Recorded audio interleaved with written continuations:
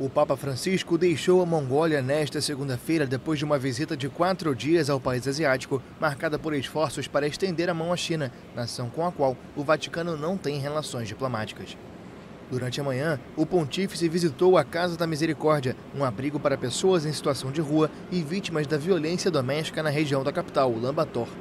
A visita reflete o desejo do Papa de estabelecer uma aproximação com os moradores das periferias.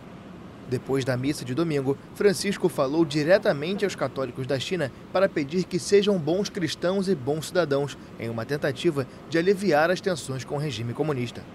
No sábado, ele fez outro aparente gesto ao Partido Comunista Chinês, quando afirmou que os governos não têm nada a temer com o trabalho de evangelização da Igreja Católica. O governo chinês, oficialmente ateu, desconfia da presença da igreja no território e exerce um controle severo sobre todas as instituições religiosas reconhecidas.